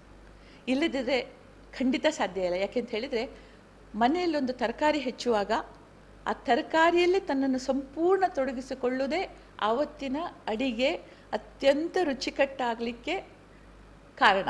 ಹಾಗೆ ಕಸ ಗುಡಿಸೋದೇ ಇರ್ಬೋದು, ಬರವಣಿಗೆ ಇರಬಹುದು ಅಥವಾ ಯಾವುದೇ ಒಂದು ದೊಡ್ಡ ಮಹತ್ಕಾರ್ಯ ಇರ್ಬೋದು. ಸಂಪೂರ್ಣವಾಗಿ ನಮ್ಮನ್ನು ನಾವು ತೊಡಗಿಸಿಕೊಂಡ್ರೆ it is mind over matter ಯಶಸ್ಸು ನಿಮ್ಮ ಪಾಲಿಗೆ ಕಟ್ಟಿಟ್ಟ ಬುತ್ತಿ. ಒಂದು ವೈಯಕ್ತಿಕ ಪ್ರಶ್ನೆ ಇದು. ನಿಮ್ಮ ಸಾಧನೆ ಹಿನ್ನೆಲೆಯಲ್ಲಿ ಒಂದು ನೆನಪಿಡುವಾದಂಥ ಒಂದು ಸಂತೋಷ ಸಂತಸದ ಕ್ಷಣಗಳು ಯಾವುದಿರ್ಬೋದು ಮೇಡಮ್ ನಾನು ಇದನ್ನು ಸಾಧನೆ ಅಂತ ಕರೆಯೋದೇ ಇಲ್ಲ. ಯಾಕೆ ಅಂತ ಹೇಳಿದರೆ ನಾನು ಮೊದಲೇ ಹೇಳಿದ ಹಾಗೆ ಅನಿವಾರ್ಯವಾಗಿ ಇಲ್ಲಿಗೆ ಬಂದೆ ನಾನು. ಬಂದಾಗ ನನ್ನ ಹಂಡ್ರೆಡ್ ಪರ್ಸೆಂಟ್ ಅಂತ ಹೇಳ್ತೇವೆ. ಸಂಪೂರ್ಣ ತೊಡಗಿಸಿಕೊಂಡು ಇದನ್ನು ಮಾಡಿದೆ. ಜನ ಮೆಚ್ಚಿದರು. ಜನ ಮೆಚ್ಚಿ ಅಥವಾ ಮೆಚ್ಚುಗೆಗಿಂತ ಹೆಚ್ಚಾಗಿ ನಿಮ್ಮ ಬರಹಗಳಿಂದ ನನ್ನ ಜೀವನ ವಿಧಾನ ಬದಲಾಯಿತು. ನಾನು ಏನೇನೋ ಆಗಿದ್ದೆ, ಇದನ್ನು ಓದುವಾಗ ಬದುಕು ಅಂದ್ರೆ ಏನು ಅಂತ ನಾನು ಅರ್ಥ ಮಾಡಿಕೊಂಡೆ ಅಂತ ಹೇಳಿ ಬಹಳಷ್ಟು ಜನ ವಿದ್ಯಾರ್ಥಿಗಳು ಮತ್ತು ಹಿರಿಯರು ಕೂಡ ಪತ್ರ ಬರೆದು ಅಥವಾ ಫೋನ್ ಮಾಡಿ ಹೇಳ್ತಾರೆ. ಇದು ಸಾರ್ಥಕ ಕ್ಷಣಗಳ ಒಂದು ಗುಚ್ಛ ನನ್ನಲ್ಲಿ. ಒಂದು ಕ್ಷಣ ಅಲ್ಲ ಅನೇಕ ಇಂಥ ಕ್ಷಣಗಳು ನನ್ನ ಜೀವನದಲ್ಲಿ ಬಂದಿದೆ. ಹಾಗಾಗಿ ಇದು ನಾನು ನನ್ನ ವರ್ಕ್ ಪ್ಲೇಸ್ ಅಂತ ಹೇಳ್ತೇವಲ್ಲ ತರಂಗಕ್ಕೆ ತೊಡಗಿಸಿಕೊಂಡದ್ದಲ್ಲಿ ಉಂಟಾದ ಸಾರ್ಥಕ ಕ್ಷಣಗಳು. ಈ ತರಂಗ ಸೇರಿದ ಮೇಲೆ ನೀವು ಹಲವಾರು ಕನಸನ್ನು ಕಂಡಿರ್ಬೋದು. ಇರಬೇಕು ಹೀಗೆ ಸಾಧನೆ ಮಾಡಬೇಕಂತ ಈ ಎಲ್ಲ ಕನಸುಗಳು ಸಾಕಾರಗೊಂಡಿವೆಯಾ? ನೀವು ಕಂಡುಕೊಂಡ ಕನಸುಗಳೆಲ್ಲವೂ ಆ ತರಂಗ ಹೀಗಿರಬೇಕು ಅಥವಾ ಒಂದು ಪತ್ರಿಕೋದ್ಯಮ ಹೀಗಿರಬೇಕಂತ ಎಲ್ಲ ಸಾಕಾರಗೊಂಡಿವೆ ಮೇಡಮ್ ನಾನು ಕೊಂಡದ್ದು ಒಂದೇ ಕನಸು. ಕನಸೇನು ಅಂತ ಹೇಳಿದರೆ ಉಳಿದ ಉಳಿದ ಅಂತ ಹೇಳೋದಿಲ್ಲ ಸಾಮಾನ್ಯವಾದ ಪತ್ರಿಕೆಗಳ ಹಾಗೆ ಇದನ್ನು ಓದಿ ಕಸದ ಬುಟ್ಟಿಗೆ ಹಾಕುವಂತಾಗಬಾರ್ದು. ಇದರಲ್ಲಿರುವ ಕೆಲವು ಅಂಶಗಳನ್ನಾದರೂ ಜನ ಉಪಯೋಗಿಸುವ ಹಾಗಾಗಬೇಕು. ಇದಕ್ಕೆ ದುಡ್ಡು ಕೊಟ್ಟುಕೊಂಡ ಓದುಗನಿಗೆ ಇದರಿಂದ ಪ್ರಯೋಜನ ಆಗಬೇಕು. ಮುಖ್ಯವಾಗಿ ನಮ್ಮ ಎಳೆಯರನ್ನು, ನಮ್ಮ ಪರಂಪರೆಯ ಕಡೆಗೆ ಹಾಗೂ ಒಳಿತಿನ ಕಡೆಗೆ. ಇದು ಆಕರ್ಷಿಸಬೇಕು ಮತ್ತು ಅದನ್ನು ನಡೆಸಬೇಕು. ಇಷ್ಟೇ ಕನಸಿದ್ದದ್ದು ಬಹಳಷ್ಟು ಸಾರ್ಥಕ ಆಗಿದೆ. ಬಹಳಷ್ಟು ಇದು ಕನಸು ಸಾಕಾರ ಆಗಿದೆ. ಮತ್ತು ಇನ್ನೂ ಕೂಡ ಆಗ್ತಾ ಇದೆ. ತುಂಬ ಜನ ಹೊಸ ಓದುಗರು ಸೇರಿಕೊಂಡಿದ್ದಾರೆ. ಓದಿ ಮೆಚ್ಚುತ್ತಾರೆ ಅಲ್ಲಿ ಅವರವರಲ್ಲಿ ಗುಂಪುಗಳು ಮಾಡಿಕೊಂಡಿದ್ದಾರೆ. ನಾವು ಓದ್ತೇವೆ, ನಾವು ಬದಲಾಗಿದ್ದೇವೆ ಅಂತ ಬರೀತಾರೆ. ಹಾಗಾಗಿ ಇದು ನಿಜಕ್ಕೂ ಸಾಕಾರ ಆಗಿದೆ ಅಂತ ಹೇಳ್ಬೋದು. ಇವತ್ತು ಕನ್ನಡ ಬಗ್ಗೆ ಮಾತಾಡ್ತಾ ಹೋಗೋಣ. ಕನ್ನಡಕ್ಕೆ ಶಾಸ್ತ್ರೀಯ ಸ್ಥಾನಮಾನ ಬಗ್ಗೆ ತುಂಬ ಚರ್ಚೆ ಆಗ್ತಾ ಇದೆ. ಈ ಶಾಸ್ತ್ರೀಯ ಸ್ಥಾನಮಾನದಿಂದ ಕನ್ನಡದ ಅಭಿವೃದ್ಧಿ ಆಗ್ತದೆ ಅನಿಸ್ತದೆ ಅಥವಾ ಸ್ಥಾನಮಾನ ಬೇಕೇ? ಸ್ಥಾನಮಾನದ ಬಗ್ಗೆ ಗೊತ್ತಿಲ್ಲ ನನಗೆ ಆದರೆ ಒಂದು ಭಾಷೆಯನ್ನು ನಾವು ಮರೆಯೋದ್ರಿಂದ ಒಂದು ಭಾಷೆಯನ್ನು ನಾವು ನೆಗ್ಲೆಕ್ಟ್ ಮಾಡೋದ್ರಿಂದ ಅದನ್ನು ಅವಲಂಬಿಸಿ ಬೆಳೆಯುವಂತಹ ಅನೇಕ ವಿಷಯಗಳು ಸಾಯ್ತವೆ. ಏನು ಅಂತ ಹೇಳಿದರೆ, ಈಗ ಒಂದು ಉದಾಹರಣೆ ತಗೊಳ್ಳಿ ನಮ್ಮ ಸೌತ್ ಕೆನಡಾದಲ್ಲಿ ಪಾರಂಪರಿಕವಾಗಿ ನಡೆದು ಬಂದಂಥ ಅನೇಕ ಕೋಳಿಕಟ್ಟ ಇರಬಹುದು, ಕಂಬಳ ಇರಬಹುದು, ಯಕ್ಷಗಾನ ಇರಬಹುದು ಅಥವಾ ಪಾಡ್ದನಗಳಿರ್ಬೋದು ನಮ್ಮ ದೇವಸ್ಥಾನಗಳಲ್ಲಿ ನಡೆಯುವಂತಹ ಅನೇಕ ಕೋಲ, ಗೀಲ ಇದೆಲ್ಲ ಇರಬಹುದು. ಇದೆಲ್ಲವೂ ಕೂಡ ಆ ಭಾಷೆಯನ್ನು ಅವಲಂಬಿಸಿವೆ. So example Tulu. ಈ ತುಳುವನ್ನು ಅವಲಂಬಿಸಿ ಈ ಪಾಡ್ದನಗಳು ಇದೆಲ್ಲ ಇದೆ. ತುಳುವನ್ನು ನಾವು ನಿಗ್ಲೆಕ್ಟ್ ಮಾಡೋದ್ರಿಂದ ಅದರ ಅವನತಿಯಿಂದ ಇವೆಲ್ಲ ನಾಶ ಆಗ್ತದೆ. ಹಾಗೆ ಕನ್ನಡವನ್ನು ಅವಲಂಬಿಸಿರುವ ಅನೇಕ, ಈಗ ಬೆಂಗಳೂರಲ್ಲಿ ನೋಡಿದರೆ ಕರಗ ಅಂತಿದೆ, ಅಥವಾ ಉತ್ಸವಗಳಿದೆ, ಇದೆಲ್ಲವೂ ಕೂಡ ಕನ್ನಡದ ಮೇಲೆ ಆಧಾರಿತ. ಈ ಪರಂಪರೆಗಳು, ಈ ಪಾರಂಪರಿಕ ಜಾನಪದ ಆಚರಣೆಗಳು ಇವೆಲ್ಲ ಸಾಯ್ತವೆ. ಹಾಗಾಗಿ ಒಂದು ಭಾಷೆಯನ್ನು ಉಳಿಸೋದ್ರಿಂದ ಈ ಪರಂಪರೆ ಉಳಿದು ಬರ್ತದೆ. ಹಾಗಾಗಿ ಕನ್ನಡಕ್ಕೆ ಅದಕ್ಕೋಸ್ಕರ, ಕನ್ನಡಕ್ಕೆ ಮಾತ್ರ ಅಂತ ಹೇಳೋದಿಲ್ಲ ನಾನು, ಭಾರತದ ಎಲ್ಲ ಭಾಷೆಗಳಿಗೂ ಮಾನ್ಯತೆ ಕೊಟ್ಟು ಆ ಭಾಷೆಯನ್ನು ನಾವು ಬೆಳೆಸಬೇಕೇ ಹೊರತು ಅದನ್ನು ನಾಶ ಮಾಡುವ ಕಡೆ ಹೋಗಬಾರ್ದು. ಹಾಗಾಗಿ ಭಾಷೆಯ ಉಳಿವು ಅತ್ಯಗತ್ಯ. ಇತ್ತೀಚೆಗೆ ಒಂದು ಬೆಳವಣಿಗೆ ಅಂದರೆ ಮಹಿಳಾ ಸಾಹಿತ್ಯ ಸ್ವಲ್ಪ ಎಲ್ಲ ಒಂದು ಕಡೆ ಮಸುಕು ಆಗ್ತದೆ ಅಂತ ಅನಿಸ್ತಾ ಇದೆಯಾ? ಅಥವಾ ಭಾಳ ಚೆನ್ನಾಗಿ ಕೃಷಿ ಆಗ್ತಾ ಇದೆಯಾ? ಮಹಿಳಾ ಸಾಹಿತ್ಯಗಳು ಅಥವಾ ಸಾಹಿತ್ಯ ಕೃಷಿ. ಭಾಳ ಚೆನ್ನಾಗಿ ಅಂದರೆ ಉಂಟು ಅಲ್ಲ ಮಸುಕು ಆಗ್ತಾ ಉಂಟು ಅದರ ಕೃಷಿ? ಇವತ್ತು ಸಾಹಿತ್ಯ ಅಂತ ಹೇಳೋದು ಅಧೋಗತಿಗೆ ಇಳಿತಾ ಇದೆ. ಯಾಕೆ ಹೇಳ್ತೇನೆ ಅಂತ ಹೇಳಿದರೆ ಎಲ್ಲಿ ಓದುಗರು ಕಮ್ಮಿ ಆಗ್ತಾರೋ ಅಲ್ಲಿ ಬರೆಯೋರು ಕಡಿಮೆ ಆಗ್ತಾರೆ. ಇವತ್ತೇನಾಗಿದೆ ಅಂತ ಹೇಳಿದರೆ ಇಂಟರ್ನೆಟ್ ಸಾಹಿತ್ಯ. ಒಂದು ಇಂಟರ್ನೆಟ್ಟಲ್ಲಿ ಓದ್ತಾರೆ, ಅದನ್ನು ಒಂದು ಸಿಂಡಿಕೇಟಿಂಗ್ ಅಂತ ಹೇಳಿ ಮಾಡ್ಕೊಳ್ತಾರೆ. ಅದನ್ನು ಹತ್ತು ಜನ ರೈಟರ್ಸ್ ಕೂತ್ಕೊಂಡು ಅದನ್ನು ಬಟ್ಟೆ ಇಳಿಸ್ತಾರೆ. ಅವರವರ ಶೈಲಿ ಇರ್ಬೋದು, ಆದರೆ ವಸ್ತು ಒಂದೇ. ಅದನ್ನು ಹಿಟ್ಕೊಂಡು ಬರೀತಾರೆ. ಆದರೆ ಒಂದು ವಿಷಯದ ಆಳಕ್ಕಿಳಿದು ಅದರ ಒಳಹರಿವುಗಳನ್ನು ಅರ್ಥ ಮಾಡಿಕೊಂಡು ಬರೆಯುವ ಪ್ರವೃತ್ತಿ ಕಮ್ಮಿ ಆಗ್ತಾ ಇದೆ. ಹಾಗಾಗಿ ಇವತ್ತೇನಾಗ್ತಿದೆ? ಅಂಕಣಗಳನ್ನು ಬರೀತಾರೆ. ಅಂಕಣಗಳನ್ನು ಅಚ್ಚು ಹಾಕಿಸಿ ಒಂದು ಪುಸ್ತಕ ಬರ್ತದೆ, ಅದನ್ನು ಅದ್ಧೂರಿಯಾಗಿ ಬಿಡುಗಡೆ ಮಾಡ್ತಾರೆ. ಆಮೇಲೆ ಅದು ಯಾವುದೋ ಲೈಬ್ರರಿಗೆ ಹೋಗ್ತದೆ. ಅದು ಓದುವ ಮೆಟೀರಿಯಲ್ ಅಲ್ಲದೆ ಇರುವುದರಿಂದ, ಬಹಳಷ್ಟು ಸಲ ಔಟ್ಡೇಟ್ ಆಗಿರುವುದರಿಂದ ಅದನ್ನು ಯಾರು ಓದುವುದಿಲ್ಲ ಹಾಗಾಗಿ ಈ ಪುಸ್ತಕಗಳ ಪ್ರಕಟಣೆಯ ಆಧಾರದ ಮೇಲೆ ನಾವು ಸಾಹಿತ್ಯ ಬೆಳೀತದೆ ಅಂತ ಹೇಳೋದು ತಪ್ಪಾಗ್ತದೆ. ಹಾಗಾಗಿ ನಿಜವಾದ ಅರ್ಥಪೂರ್ಣ ಆಳ ಇರುವ ಸಾಹಿತ್ಯ ಬಹಳ ಕಡಿಮೆ ಆಗ್ತಿದೆ. ಬಹಳ ಕಡಿಮೆ ಆಗ್ತಿದೆ. ಭಾಳ ಮುಖ್ಯ ಇವತ್ತು ನಾವು ಕೇಳಿರೋ ಒಂದು ಕೂಗು ಅಂತ ಹೇಳಿದ್ರೆ, ಓದು ನೀವು ಹೇಳಿದಾಗೆ ಓದುವ ಆಸಕ್ತಿ ಮತ್ತು ಪುಸ್ತಕದ ಪ್ರೀತಿ ಭಾಳ ಕಡಿಮೆ ಆಗಿದೆ. ಈ ಓದುವ ಆಸಕ್ತಿಯನ್ನು, ಈ ಪುಸ್ತಕ ಪ್ರೀತಿಯನ್ನು ಹೇಗೆ ಬೆಳೆಸ್ಕೊಳ್ಬೋದು, ಹೇಗೆ ರೂಢಿಸ್ಕೊಳ್ಳಿಕ್ಕಾಗುತ್ತೆ ನೋಡಿ, ಇದು ಯಾವುದೇ ಹವ್ಯಾಸ, ಯಾವುದೇ ಒಂದು ಅಭ್ಯಾಸ ಎಳವೆಯಿಂದ ಶುರುವಾದರೆ ಮಾತ್ರ ಇದು ಕಂಟಿನ್ಯೂ ಆಗ್ತದೆ ಹೊರತು ಇದು ಮಧ್ಯದಲ್ಲಿ ಬಂದು ಸೇರಿಕೊಳ್ಳುವಂಥದ್ದಲ್ಲ. ಈಗ ನಮ್ಗೆ ಶಾಲೆಯಲ್ಲಿ ಏನಾಗ್ತಿದೆ ಅಂತ ಹೇಳಿದರೆ ಓದಲೇಬೇಕು ಅಂತ ಹೇಳಿ ಕಡ್ಡಾಯ ಇಲ್ಲ. ಮಕ್ಕಳು ಬೇಕಾದ್ರೆ ಲೈಬ್ರರಿಯಿಂದ ಕೆಲವು ಪುಸ್ತಕಗಳನ್ನು ತಗೊಂಡು ಹೋಗ್ಬೋದು. ಅದನ್ನು ಇನ್ನೊಂದು ವಾರ ನಾನು ಓದಿದ್ದೇನೆ ಅಂತ ಹೇಳಿ ರಿಟರ್ನ್ ಮಾಡಿದರೆ ಆಯಿತು. ಈಗ ಸಣ್ಣ ಒಂದು ಉದಾಹರಣೆ ಹೇಳ್ತೇನೆ. ನನ್ನ ಮೊಮ್ಮಗ ಅಮೆರಿಕದಲ್ಲಿದ್ದಾನೆ. ಅವನಿಗೆ ತಿಂಗಳಿಗೆ ಒಂದು ಪುಸ್ತಕ ಕೊಡ್ತಾರೆ. ಆ ಪುಸ್ತಕವನ್ನು ಅವನು ಒಂದು ತಿಂಗಳಲ್ಲಿ ಓದಿ ಅದರ ಬಗ್ಗೆ ಒಂದು ಟಿಪ್ಪಣಿ ಬರಿಬೇಕು. ಅಥವಾ ಅದರ ಒಂದು ಘಟನೆಯನ್ನು ಆಧಾರವಾಗಿಟ್ಟುಕೊಂಡು ಒಂದು ಸಣ್ಣ ಕಥೆ ಬರಿಬೇಕು. ಆವಾಗ ಅದನ್ನು ಓದಿ ಅದಕ್ಕೆ ಮಾರ್ಕ್ ಸಿಗ್ತದೆ. ಇದು ಫೈನಲ್ ಅವನ ಪರೀಕ್ಷೆಯ ರಿಸಲ್ಟ್ ಬಂದಾಗ ರೀಡಿಂಗ್ ಅಂತ ಹೇಳುವ ಒಂದು ಶೀರ್ಷಿಕೆಯಡಿ ಅವನಿಗೆ ಆ ಮಾರ್ಕ್ಸ್ ಸಿಗ್ತದೆ. ಅದು ಅವನ ಮೇನ್ ಮಾರ್ಕ್ಸ್ ಇದರಲ್ಲಿ ಸೇರ್ಪಡೆಯಾಗ್ತದೆ ಆವಾಗ ಏನಾಗ್ತದೆ? ಓದ್ತಾನೆ, ಓದುವ ರುಚಿ ಹಚ್ತದೆ. ಇದು ಆರು ವರ್ಷದ ಮಕ್ಕಳಿಂದ ಸ್ಟಾರ್ಟ್ ಆಗ್ತದೆ ಅಲ್ಲಿಗೆ. ಓದೋದ್ರೊಂದಿಗೆ ಬರೆಯುವ ಒಂದು ಟ್ಯಾಲೆಂಟು ಬರೆಯುವ ಒಂದು ಹವ್ಯಾಸ ಹಾಗೂ ಟ್ಯಾಲೆಂಟ್ ಕೂಡ ಅದರಲ್ಲಿ ಬೆಳೆದು ಬರ್ತದೆ. ಹೀಗೆ ಮಾಡಿದರೆ ಚಿಕ್ಕಂದಿನಿಂದ ನಾವು ಓದುವ ಹವ್ಯಾಸವನ್ನು ಕಲಿಸ್ಬೋದು, ಬರೆಯುವುದನ್ನು ಕಲಿಸ್ಬೋದು. ಆಮೇಲೆ ಇನ್ನೊಂದೇನಂತ ಹೇಳಿದರೆ ಮನೆಯಲ್ಲಿ ಕೂಡ ಸಣ್ಣ ಪುಟ್ಟ ಕಥೆಗಳನ್ನು, ಸಣ್ಣ ಪುಟ್ಟ ಕುತೂಹಲಕಾರಿ ಘಟನೆಗಳನ್ನು ಮಕ್ಕಳು ಓದುವ ಹಾಗೆ ಮೊದಲು ಓದಿ ಹೇಳಿ, ಆಮೇಲೆ ಅದನ್ನು ಅವರಿಂದ ಓದಿಸಿ ತಾಯಂದಿರು ಕೇಳಿ, ಬರೀಲಿಕ್ಕೆ ಎನ್ಕರೇಜ್ ಮಾಡಿದರೆ ಮಾತ್ರ ಈ ಹವ್ಯಾಸ ಉಳಿತದೆ ಹೊರತು ಇಲ್ಲದ್ರೆ ಉಳಿಯೋದಿಲ್ಲ ಇದು ಅತ್ಯಗತ್ಯ. ಯಾಕೆಂದರೆ ಇವತ್ತು ಒತ್ತಡದ ಬದುಕು ನಮ್ಮದು ಪ್ರತಿಯೊಂದರಲ್ಲೂ ಕೂಡ ಪ್ರತಿಯೊಂದು ಫೀಲ್ಡ್ನಲ್ಲಿ ನಾವು ಅತ್ಯುತ್ತಮವಾಗಿದ್ದರೆ ಮಾತ್ರ ನಾವು ಬದುಕಬಲ್ಲೆವು ಇಲ್ಲದ್ರೆ ಆಗೋದಿಲ್ಲ. ಯಾವುದೇ ಮೀಡಿಯಾ ತಗೊಳ್ಳಿ ಈಗ ನನ್ನ ತರಂಗ ಅತ್ಯುತ್ತಮವಾಗಿ ಬಂದರೆ ಸರ್ಕ್ಯುಲೇಷನ್ ಜಾಸ್ತಿ ಆಗ್ತದೆ. ಸರ್ಕ್ಯುಲೇಷನ್ ಜಾಸ್ತಿ ಆದರೆ ನಮಗೆ ಅಡ್ವರ್ಟೈಸ್ಮೆಂಟ್ ಸಿಗ್ತದೆ. ಅಡ್ವರ್ಟೈಸ್ಮೆಂಟ್ ಜಾಸ್ತಿ ಆದರೆ ಮಾತ್ರ ನೀವು ನ್ಯೂಸ್ ಪ್ರಿಂಟ್ ಕೊಳ್ಳಬಹುದು ಹಾಗೂ ಪ್ರಿಂಟ್ ಮಾಡ್ಬೋದು. ಇಷ್ಟೇ. ಹಾಗಾಗಿ ಅತ್ಯುತ್ತಮವಾಗಿದ್ದಕ್ಕೆ ಮಾತ್ರ ಇವತ್ತು ಬದುಕಲಿಕ್ಕೆ ಸಾಧ್ಯ. ಹಾಗೆ ಈ ಒತ್ತಡದ ಬದುಕಿನಲ್ಲಿ ಒಂದು ಡೈವರ್ಷನ್ ಬೇಕು. ಇಲ್ಲದ್ರೆ ಏನಾಗುತ್ತೆ ಅಂತ ಹೇಳಿದರೆ ಬದುಕು ಮನೋಟನಸ್ ಆಗ್ತದೆ. ಅನೇಕ ಮಾನಸಿಕ ರೋಗಗಳು ಶುರುವಾಗ್ತವೆ, ದೈಹಿಕ ರೋಗಗಳು ಬರ್ತವೆ. ಇದಕ್ಕೋಸ್ಕರ ಈ ಓದು ಅನ್ನೋದು ಒಂದು ಅತ್ಯುತ್ತಮವಾದ ಔಷಧಿ ಅಂತ ಹೇಳಿ ನನ್ನ ಅನಿಸಿಕೆ. ಯಾಕೆಂತ ಹೇಳಿದರೆ ಒಂದು ಒಳ್ಳೆಯ ಕಥೆಯನ್ನು ಓದುವಾಗ, ಒಂದು ಒಳ್ಳೆಯ ಸಾಹಿತ್ಯವನ್ನು ಓದುವಾಗ ನಾವೊಂದು ಕನಸಿನ ಲೋಕದಲ್ಲಿ ಕಳೆದು ಹೋಗ್ತೇವೆ. ಆ ಪುಸ್ತಕದ ಕಾಗದವನ್ನು ಕೈಯಿಂದ ಮುಟ್ಟಿ ಅದನ್ನು ತಿರುಗಿಸಿ ಅಕ್ಷರಗಳ ಮೇಲೆ ಕಣ್ಣಾಡಿಸಿ ಅದು ಓದುವಾಗ ಅದೊಂದು ಬೇರೆಯ ಲೋಕ. ಹಾಗಾಗಿ ಒಂದು ಡೈವರ್ಷನಿಗೋಸ್ಕರ ಒಂದು ಹಾಬಿಯ ಹಾಗೆ ಓದನ್ನು ಬೆಳೆಸಿಕೊಂಡ್ರೆ ಇದರಿಂದ ಬಹಳ ಪ್ರಯೋಜನ ಇದೆ ಬಹಳ ಪ್ರಯೋಜನ ಇದೆ. ಈ ಉದಯೋನ್ಮುಖ ಬರಗಾರದ ಹೊಸದಾಗಿ ತುಂಬ ಜನ ಸಾಹಿತ್ಯ ಕೃಷಿ ಮಾಡ್ತಾ ಇದ್ದಾರೆ. ಅವರಿಗೆ ನೀವು ಕೊಡುವಂಥ ಅದನ್ನು ಹೇಳುವಂಥ ಕಿವಿ ಮಾತುಗಳು ಯಾವುದು? ನನ್ನ ದೃಷ್ಟಿಯಲ್ಲಿ ಬರಹ ಅಂತ ಹೇಳಿದರೆ ಯಾವುದು ಹೃದಯದಿಂದ ಬರ್ತದೋ ಹೃದಯಗಳನ್ನು ಮುಟ್ತದೋ ಅದು ಬರಹ. ಕ್ಲಿಷ್ಟವಾದ ಶಬ್ದಗಳು ಉದ್ದುದ್ದ ಸೆಂಟೆನ್ಸ್ಗಳು ಅಥವಾ ವಾಕ್ಯಗಳು, ಇದನ್ನೆಲ್ಲ ಹಾಕಿದರೆ ಅದು ಬರಹ ಆಗೋದಿಲ್ಲ ಅದು ನೇರವಾಗಿ ಅದು ಹೊರಗಿನಿಂದ ಒಳಗಿನಿಂದ ಬರಬೇಕು, ಅದು ಇನ್ನೊಬ್ಬ ಓದುಗನನ್ನು ಮುಟ್ಟಬೇಕು. ಇದು ಒಳಗಿನಿಂದ ಯಾವಾಗ ಉಕ್ಕಿ ಬರ್ತದೆ ಅಂತ ಹೇಳಿದರೆ, ಅದರ ಬಗ್ಗೆ ನಮಗೆ ತೃಪ್ತಿ ಇದ್ದಾಗ, ಇದರ ಬಗ್ಗೆ ನಾವು ಇದು ನಿಜ ಅಂತ ನಂಬಲಿಕ್ಕೆ ಸಾಧ್ಯವಾಗುವಾಗ, ಆವಾಗ ಈ ಬರಹ ಹೃದಯದಿಂದ ಹೊರಗೆ ಬರ್ತದೆ. ಸೊ ನನ್ನ ಕಿವಿ ಮಾತೇನು ಅಂತ ಹೇಳಿದರೆ, ನಿಮಗೆ ಏನು ತೋಚ್ತದೋ ಯಾವುದು ನಿಮಗೆ ಸತ್ಯ ಅಂತ ಕಾಣ್ತದೋ, ಯಾವುದರಲ್ಲಿ ಒಂದು ಸೊಗಡಿದೆ ಅಂತ ಕಾಣ್ತದೋ, ಅದನ್ನು ನಿಮ್ಮ ಹೃದಯ ಹೇಳುವ ಹಾಗೆ ಬರ್ಕೊಂಡು ಹೋಗಿ.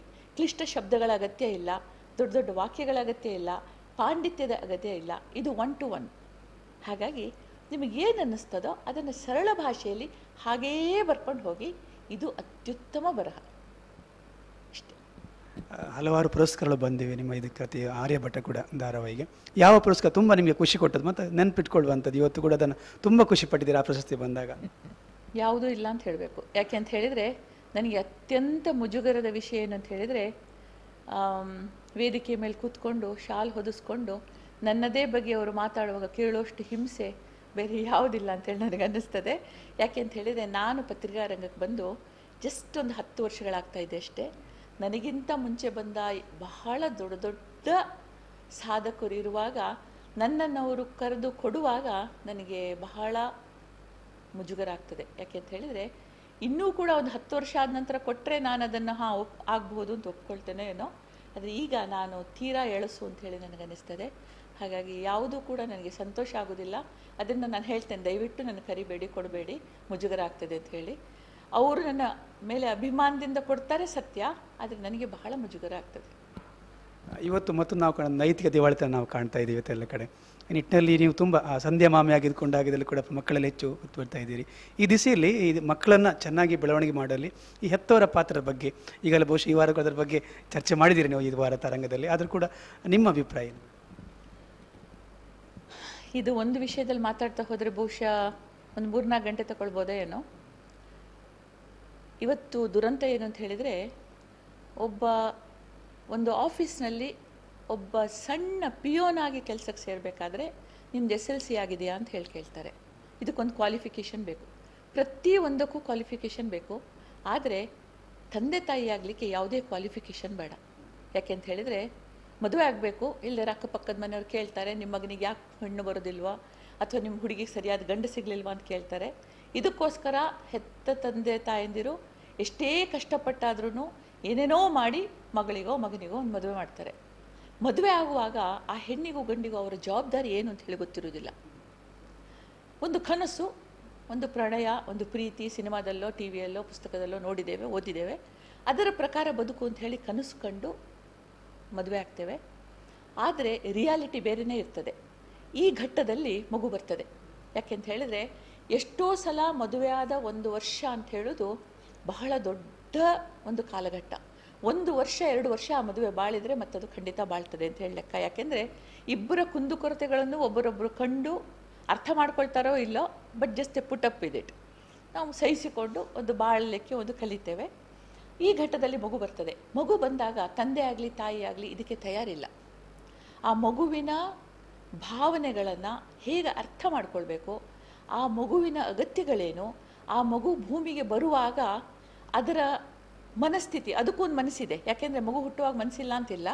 ಅದು ನಮಗಿಂತ ಹೆಚ್ಚು ಒತ್ತಡದಲ್ಲಿರ್ತದೆ. ಯಾಕೆಂತ ಹೇಳಿದರೆ, ಅದು ಹೊಟ್ಟೆಯಲ್ಲಿರುವಾಗ ಅದರ ಪರಿಸರವೇ ಬೇರೆ. ಅದು ಹೊರಗೆ ಬರ್ತದೆ, ಈ ಪ್ರಪಂಚವನ್ನು ಬೆರಗು ಗಣ್ಣುಗಳಿಂದ ನೋಡ್ತದೆ. ಎಲ್ಲ ಹೊಸ್ತು, ಬೆಳಕು ಟೆಂಪ್ರೇಚರು ಅಥವಾ ಎನ್ವೈರ್ನ್ಮೆಂಟು ಎಲ್ಲವೂ ಹೊಸ್ತು. ಆ ಮಗು ತುಂಬ ಒತ್ತಡಕ್ಕೆ ಒಳಗಾಗ್ತದೆ. ಆಗ ಆ ಮಗುವನ್ನು ನಾವು ಹೇಗೆ ಹ್ಯಾಂಡಲ್ ಮಾಡ್ತೇವೆ ಅಂತ ಹೇಳುವುದರಿಂದ ಆ ಮಗುವಿನ ಬೆಳವಣಿಗೆ ಅಥವಾ ಮನಸ್ಸಿನ ಬೆಳವಣಿಗೆ ಶುರುವಾಗ್ತದೆ. ಯಾವ ಮಗು ಮೊದಲ ಇಪ್ಪತ್ನಾಲ್ಕು ಗಂಟೆ ತಾಯಿಯ ಹತ್ರ ಇಲ್ಲದೆ, ತಾಯಿಯ ಸಾನ್ನಿಧ್ಯದಲ್ಲಿಲ್ಲದೆ ದೂರ ಆಗ್ತದೋ, ಆ ಮಗು ಜೀವಮಾನ ಪರ್ಯಂತ ಹೆದರು ಪುಕ್ಕನಾಗಿ ಉಳಿತಾನೆ ಅಂತ ಹೇಳಿ ಇವತ್ತಿನ ವೈಜ್ಞಾನಿಕ ಸಂಶೋಧನೆಗಳು ಹೇಳ್ತವೆ. ಯಾಕೆಂದರೆ ಆ ಸಾನ್ನಿಧ್ಯ, ಆ ಅಭಯ, ನಾನಿದ್ದೇನೆ ಅಂತ ಹೇಳೋ ಒಂದು ಸೆಕ್ಯೂರಿಟಿ ಇದು ಆ ಮಗುವಿಗೆ ಆ ಇಪ್ಪತ್ನಾಲ್ಕು ಗಂಟೆಯಲ್ಲಿ ಸಿಗೋದಿಲ್ಲ. ಯಾವಾಗ ಅದು ತುಂಬ ಹೆದರಿದೆಯೋ ಆವಾಗ ಅದಕ್ಕೆ ಒಂದು ಪ್ರೊಟೆಕ್ಷನ್ ಸಿಗೋದಿಲ್ಲ. ಹೀಗೆ ಇವತ್ತೇನಾಗ್ತದೆ, ಮಗು ಹುಟ್ಟಿದ ಕೂಡಲೇ ತಗೊಂಡು ಹೋಗಿ ನಿಯೋನೆಟಲ್ ಡಿಪಾರ್ಟ್ಮೆಂಟಲ್ಲೋ ಅಥವಾ ಇನ್ಕ್ಯುಬೇಟ್ರಲ್ಲೋ ಎಲ್ಲೋ ಒಂದು ಹಾಕಿ ಬಿಡ್ತಾರೆ. ಆ ಮಗು ಅನಾಥವಾಗಿ ಒಂಥರ ಅಲ್ಲಿ ಬೆಳೀತದೆ.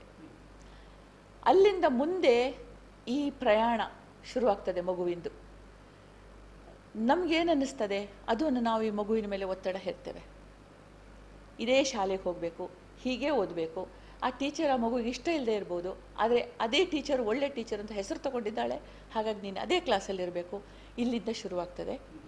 ಆ ಮಗುವಿನ ವ್ಯಕ್ತಿತ್ವ ವಿಕಸನ ಆಗಲಿಕ್ಕೆ ನಾವು ಬಿಡೋದಿಲ್ಲ ವಿದ್ಯೆ ಅಂತ ಹೇಳುವ ಪದಕ್ಕೆ ಬಹಳ ಚಂದದ, ಬಹಳ ಗಹನವಾದ, ಬಹಳ ಸುಂದರವಾದ ಅರ್ಥ ಇದೆ ಏನಂದರೆ, ವಿದ್ಯೆ ಹೇಗಿರಬೇಕಪ್ಪ ಅಂತ ಹೇಳಿದರೆ, ಒಂದು ಬೆಳಗಿನ ಜಾವದಲ್ಲಿ ಇಬ್ಬನಿ ಬೀಳ್ತಾ ಇರುವಾಗ, ಆ ಇಬ್ಬನಿಯ ಹನಿಗಳು ಬಿದ್ದಾಗ, ಆ ಹೂ ಹೇಗೆ ಅರಳುತ್ತದೋ ಹಾಗೆ ಆ ಮಗುವಿನ ಸರ್ವತೋಮುಖ ಅರಳುವಿಕೆ, ವಿಕಸನ ನಡಿಬೇಕು, ಅದು ವಿದ್ಯೆ. ಒಂದು ದಳ, ಹೂವಿಂದು ಅರಳಿ, ಇನ್ನೆರಡು ಅಲ್ಲಿ ಮಡಚಿದ್ರೆ ಅದು ಪೂರ್ತಿ ವಿಕಸನ ಆಗೋದಿಲ್ಲ. ಇಲ್ಲಿ ಏನಾಗಿದೆ ಅಂತ ಹೇಳಿದರೆ, ಇವತ್ತಿನ ವಿದ್ಯೆ ಹೊಟ್ಟೆಗಾಗಿ ವಿದ್ಯೆ, ಒಂದು ಜಾಬಿಗಾಗಿ ವಿದ್ಯೆ. ಒಂದಿಷ್ಟು ದುಡ್ಡು ಮಾಡಬೇಕು, ಬದುಕಬೇಕು. ಹೌದು. ಇದಕ್ಕೋಸ್ಕರ ಆ ಭಾಗದ ಎಸಳುಗಳು ಅರಳುತ್ತವೆ, ಉಳಿದ ಎಸಳುಗಳು ಮುದುಡಿಕೊಂಡೇ ಇರ್ತವೆ. ಬಹುಶಃ ಜೀವಮಾನ ಪರ್ಯಂತ. ಯಾಕೆಂದರೆ ಆ ಮಗು ಏನೋ ಆಗಬೇಕು ಅಂತಿದೆ, ಅದಾಗ್ಲಿಕ್ಕೆ ಬಿಡೋದಿಲ್ಲ. ಆ ಎಸಳುಗಳು ಮುದುಡಿಕೊಂಡಿರ್ತವೆ. ಹಾಗಾದರೆ ಇವತ್ತಿನ ವಿದ್ಯೆಗೆ ಇವತ್ತಿನ ಭೌತಿಕ ಲೆವೆಲ್ನಲ್ಲಿ ಅರ್ಥ ಇದೆ. ಆದರೆ ಒಂದು ವ್ಯಕ್ತಿಯ ವಿಕಸನದ ನೆಲೆಯಲ್ಲಿ ಅರ್ಥ ಇಲ್ಲ. ಹಾಗಾಗಿ ಇದಕ್ಕೆ ಇದೊಂದು ವಿಷವರ್ತುಲ. ಯಾಕೆಂತ ಹೇಳಿದರೆ ಇದರಿಂದ ಹೊರಗೆ ಬರಲಿಕ್ಕಾಗದೆ, ಇದರಲ್ಲಿ ಬದುಕಲಿಕ್ಕಾಗದೆ ಒಂದು ವಿಧದಲ್ಲಿ ನಾವು ಉಸಿರುಗಟ್ಕೊಂಡು ಬದುಕ್ತಾ ಇದ್ದೇವೆ. ಹಾಗಾಗಿ ಈ ದಿಸೆಯಲ್ಲಿ ಗೊತ್ತಿರೋರು, ಚಿಂತಕರು ಬಹಳ ಗಾಢವಾಗಿ ಆನೆಸ್ಟ್ ಆಗಿ ಒಂದು ವಿವೇಚನೆ ನಡೆಸಬೇಕು ಮತ್ತು ಇದಕ್ಕೊಂದು ಪರಿಹಾರ ಕಂಡುಹಿಡಬೇಕು. ಇಲ್ಲದಿದ್ದರೆ ಮುಂದಿನ ಭವಿಷ್ಯ ಗೊತ್ತಿಲ್ಲ ಏನಾಗ್ತದೆ ಅಂತ ಹೇಳಿ. ಕೊನೆಯ ಪ್ರಶ್ನೆ ಮೇಡಮ್ ಈ ಮಾಧ್ಯಮದ ಮೂಲಕ ಯು ಚಾನಲ್ ಮೂಲಕ ನಮ್ಮ ವೀಕ್ಷಕರು ನೀವು ನೋಡುವಂಥ ಸಂದೇಶ ಏನು ಮೇಡಮ್ ಸಂದೇಶ ಅಂತ ಹೇಳಿ ಕೊಡಲಿಕ್ಕೆ ಏನು ಹೇಳೋದು ಹೇಳಿ? ಸಂದೇಶ ಅಂತ ಹೇಳಿ ಎಂಥದಿಲ್ಲ ಸಂದೇಶ ಏನಿಲ್ಲ. ಇವತ್ತು ನಮ್ಮ ದೇಶ ಒಂದು ಬಹಳ ದೊಡ್ಡ ಘಟ್ಟಕ್ಕೆ ಬಂದು ನಿಂತಿದೆ. ನಾವು ಭೌತಿಕವಾಗಿ ಬಹಳಷ್ಟು ಮುಂದುವರಿತಾ ಇದ್ದೇವೆ, ಆದರೆ ಆಂತರಿಕವಾಗಿ ಎಂದೋ ಒಂದು ಕಾಲದಲ್ಲಿ ಐವತ್ತು ವರ್ಷಗಳ ಹಿಂದೆ, ಬಹಳ ದೂರ ಅಲ್ಲ, ಇದ್ದಂಥ ಶಾಂತಿ, ಸಮಾಧಾನಗಳು, ತೃಪ್ತಿ ಬದುಕಿನಲ್ಲಿ ಅದಿಲ್ಲಾಗಿದೆ. ಏನನ್ನೋ ನೋಡ್ತೇವೆ, ಅದನ್ನು ಸಾಧಿಸ್ಲಿಕ್ಕೆ ಹೋಗ್ತೇವೆ, ಸಾಧಿಸುವಷ್ಟು ತಾಕತ್ತು ನಮ್ಮಲ್ಲಿಲ್ಲ, ಅಲ್ಲಿಗೆ ಅತೃಪ್ತಿ ಶುರುವಾಗ್ತದೆ. ಇದಕ್ಕೊಂದು ನಾನು ಬಹಳಷ್ಟು ಸಲ ಹೇಳಿದ್ದೇನೆ, ಬರೆದೇನೋ, ಒಂದು ಸಣ್ಣ ಕತೆ ಇದೆ. ನೊಣ ಮತ್ತು ಸಿಂಬಳದ ಕತೆ ನೊಣ ಇರ್ತದೆ. ನೊಣಕ್ಕೆ ಸಿಂಬಳ ಅಂದರೆ ಬಹಳ ಪ್ರಿಯವಾದ ಆಹಾರ ಅಂತೆ. ಅದು ಹೋಗಿ ಸಿಂಬಳದ ಮೇಲೆ ಕೂತ್ಕೊಳ್ತದೆ. ತಿನ್ಲಿಕ್ಕೆ ಶುರು ಮಾಡ್ತದೆ. ಅದನ್ನು ಆಸ್ವಾದಿಸ್ತದೆ. ಎಚ್ಚರ ಆಗ್ತದೆ ಹೊಟ್ಟೆ ತುಂಬಿದ ಕೂಡಲೇ. ಆದರೆ ಅಷ್ಟೊತ್ತಿಗಾಗಲೇ ಸಿಂಬಳ ಗಟ್ಟಿಯಾಗಿದೆ. ಕಾಲುಗಳು ಅದರಲ್ಲಿ ಸೇರಿಕೊಂಡಿವೆ. ಅದು ಬಂದಿಯಾಗಿದೆ. ಇವತ್ತು ನಾವಿ ಬಂದಿಗಳು. ಹಾರಲಿಕ್ಕಾಗೋದಿಲ್ಲ. ಆದರೆ ಹಾರಬೇಕು ಅನ್ನುವ ಇಚ್ಛೆ ಇದೆ. ಹಾರಲಿಕ್ಕಾಗ್ತಾ ಇಲ್ಲ. ಹಾಗಾಗಿ ಇದರಿಂದ ಹೊರಗೆ ಬರುವ ದಾರಿ ಕಾಣದೆ ಒದ್ದಾಡ್ತಾ ಇದ್ದೇವೆ. ಹಾಗಾಗಿ ಈ ಬದುಕಿನ ವಿದ್ಯೆಯ ಅಂತಿಮ ಗುರಿ ಏನು ಅಂದರೆ ಎಷ್ಟು ತೃಪ್ತಿಯಿಂದ, ಎಷ್ಟು ಶಾಂತಿಯಿಂದ ನಾವು ಬದುಕ್ತೇವೆ ಅಂಥೇಳಿ ವೈಯಕ್ತಿಕವಾಗಿ, ಸಾಮಾಜಿಕವಾಗಿ, ಎರಡೂ ಕೂಡ. ಇವತ್ತು ವೈಯಕ್ತಿಕವಾಗಿಯೂ ತೃಪ್ತಿ ಇಲ್ಲ ಸಾಮಾಜಿಕವಾಗಿ ಅಂತೂ ಇಲ್ಲವೇ ಇಲ್ಲ. ಹಾಗಾಗಿ ತೃಪ್ತಿ ಶಾಂತಿಗಳನ್ನು ಬೆಳೆಸಿಕೊಳ್ಳುವತ್ತ, ಅಂಥ ವಿದ್ಯಾಭ್ಯಾಸದ ಒಂದು ಸಿಸ್ಟಮ್ನತ್ತ ನಾವು ಯೋಚಿಸಬೇಕೇ ಹೊರತು ಉಳಿದದ್ದೆಲ್ಲ ವ್ಯರ್ಥ ಹೇಳಿ ನನ್ನ ಅನಿಸಿಕೆ ಇಷ್ಟೇ. ಮೇಡಮ್ ಈ ಇಷ್ಟವರೆಗೆ ನಿಮಗೆ ಭಾಳ ಅನುಭವದ ಮಾತು ನಮ್ಮನ್ನು ಹಂಚಿಕೊಂಡಿದ್ದೀರಿ. ತುಂಬ ಧನ್ಯವಾದಗಳು. ವೀಕ್ಷಕರು ನಮ್ಮ ಕಾರ್ಯಕ್ರಮ ಮುಗಿಸ್ತದೆ. ಮತ್ತೆ ಭೇಟಿಯಾಗೋಣ. ಅಲ್ಲಿವರೆಗೆ ಎಲ್ಲರಿಗೂ ಕೂಡ ಪ್ರೀತಿಯ ನಮಸ್ಕಾರ.